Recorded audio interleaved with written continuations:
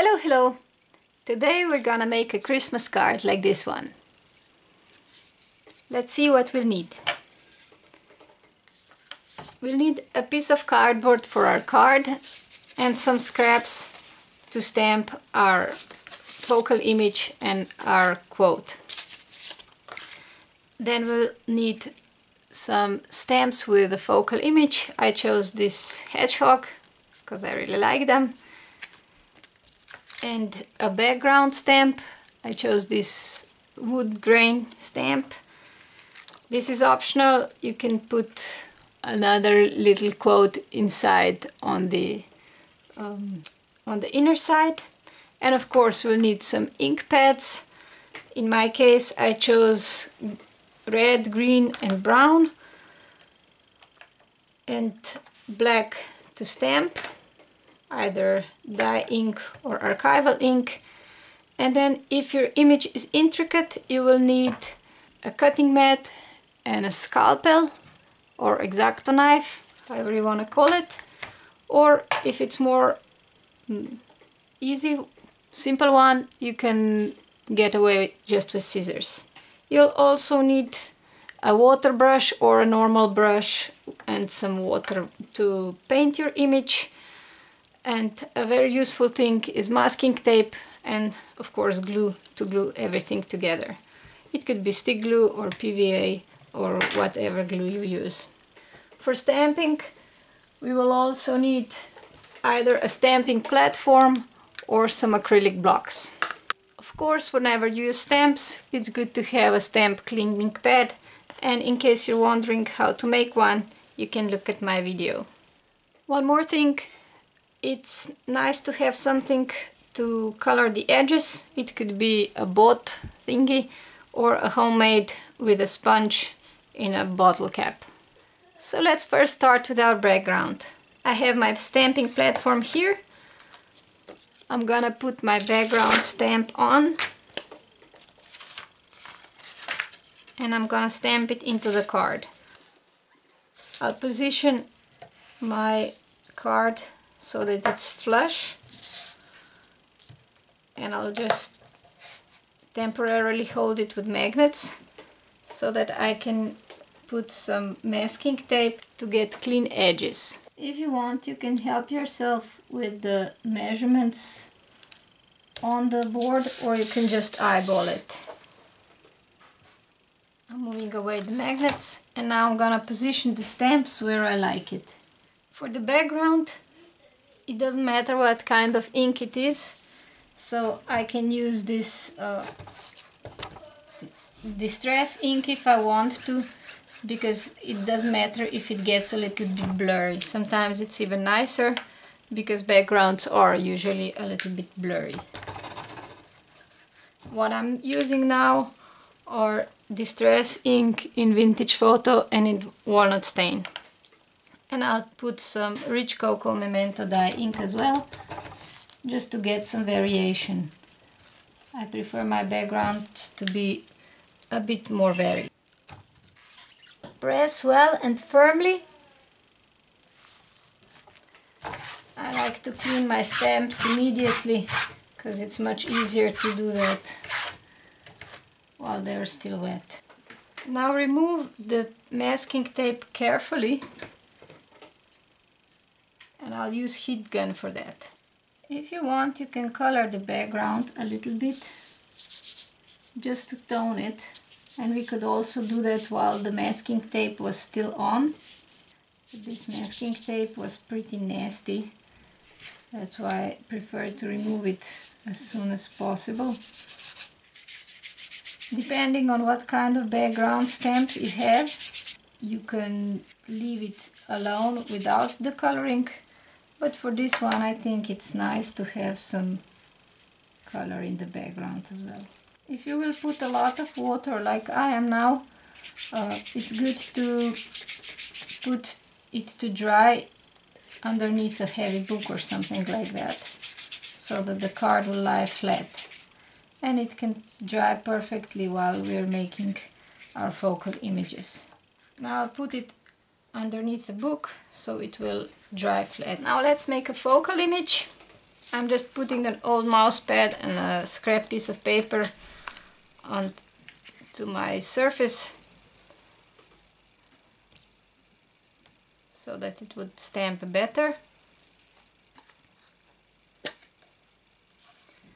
I'm stamping this in archival ink because I want it to be waterproof.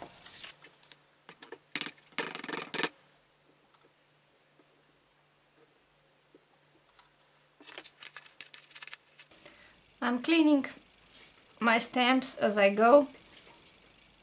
That's much easier.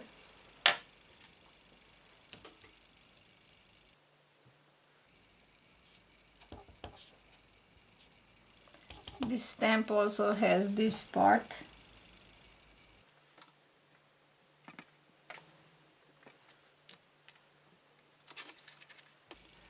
Now because I want this hedgehog to hold this as a balloon I need to stamp another set of this. And I will need one more part of this loop. I'm tapping, tapping my ink pads onto an acrylic block so I'll be able to color it with them now on to the coloring. I have my ink pads tapped on this acrylic block and I can color with this. This is not a good watercolor cardstock. This is just a piece of office cardboard that was printed the wrong way and I just like to use this kind of scraps because otherwise they would just go into the landfill and like this they can make somebody happy first. But the downside of course is that this is not the most blendable cardstock and you have to work with it a little bit quicker and sometimes you have to wet it first so that you can get uh, some smooth transitions.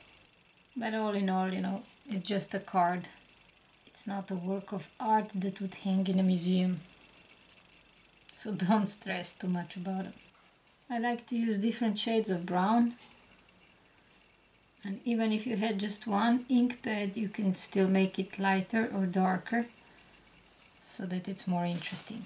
Don't worry if you go overboard because we will cut these hedgehogs apart. So that really doesn't matter nobody will see. Don't forget to color the loops, also the additional loops. But as I said, you don't need to worry about going overboard there.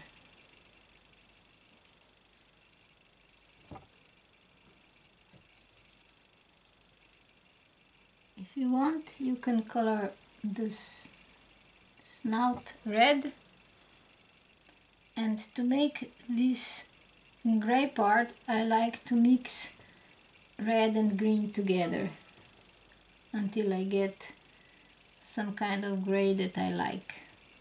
I like this shade. This goes really quickly. And in the end I'm just tapping to, to put some interest into the hedgehogs spines. If you use a few colors and mix them, everything will match, so it's really easy. And if you're not sure which colors would sit nicely together, you can always choose something that designers have already put together in a set. Those colors always match very nicely. I like to match my own because you know color is kind of my playground. You can also put some shading if you like to. Depending on what style you like. I'm not a big fan of flat colors, so I prefer to make some shadings. And actually, I saw that I prefer this kind of bubble, so I'll make another one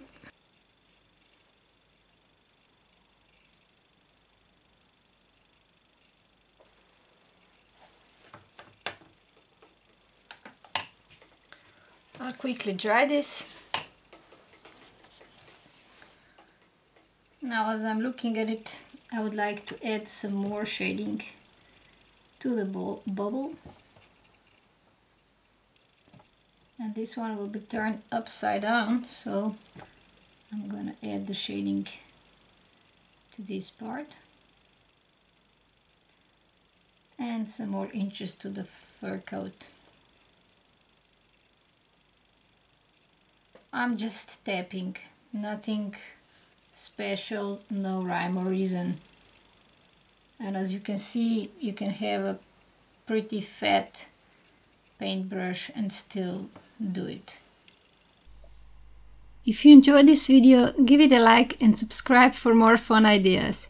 If you want to learn more about cards, like which countries love sending Christmas cards the most, head over to my blog. Link is in the description.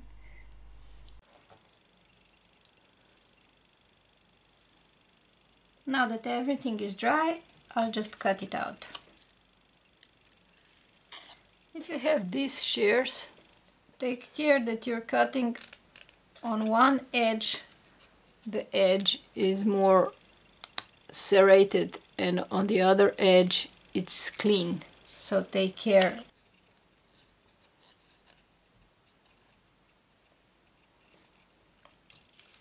these stamps don't have a clean line everywhere like here it's broken and I'm just making it up whenever there is no line to guide me this particular stamp has some parts that need to be cut out with a scalpel or X-Acto knife.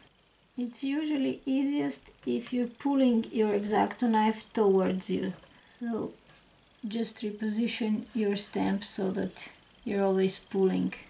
And repeat with the second one. Now we've got everything cut out and we just want to put everything together and maybe add a quote. One of these loops will be will be hanging from his paw and the other one I will cut in half to make a string that holds the bubble balloon. But first let's make a quote. I'll just use one To make nice corners you can use a corner round rounder or you could just cut them by hand. This cardstock frays like crazy so I'm just smoothing it out before I, I will ink it. Take my ink pad, put some ink onto a sponge and then just ink the edges that will make the quote stand up. Now let's assemble everything. I like this one a little bit off the edge.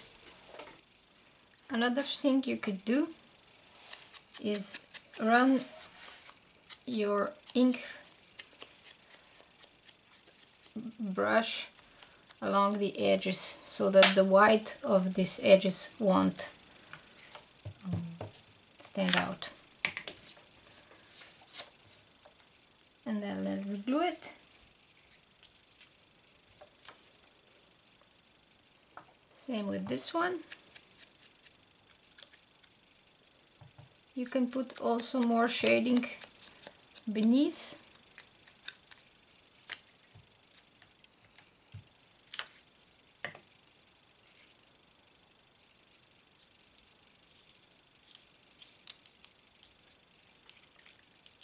let's choose which one is nicer.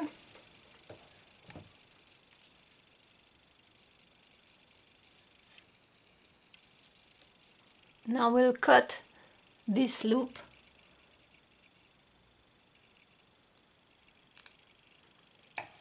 so that we'll get a piece of hanging thread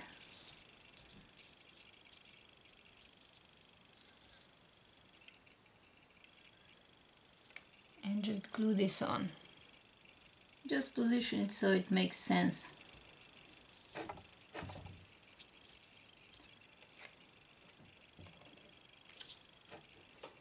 Now the quote. Can put it like this or I can put it crooked, however you like it. And the very last thing to do, I'll just put a stamp that this is handmade inside. And that's it. I hope you like it and I hope you make some.